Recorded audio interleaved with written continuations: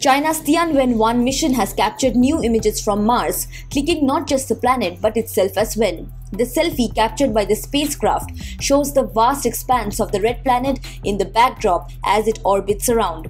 The China's National Space Administration or CNSA released the pictures along with the first full photo of the mission orbiter. In the colored pictures, the orbiter is seen flying around the red planet in an orbit with ice cover Mars's north pole and a barren Martian plain in the background. Meanwhile, the administration said in a statement that the orbiter's full picture was taken by a camera released by the spacecraft flying about 350 million kilometers away from Earth. The space agency said that the Tianwen-1 mission has so far obtained and transmitted nearly 540 gigabytes of data from Mars and still has sufficient energy to keep working.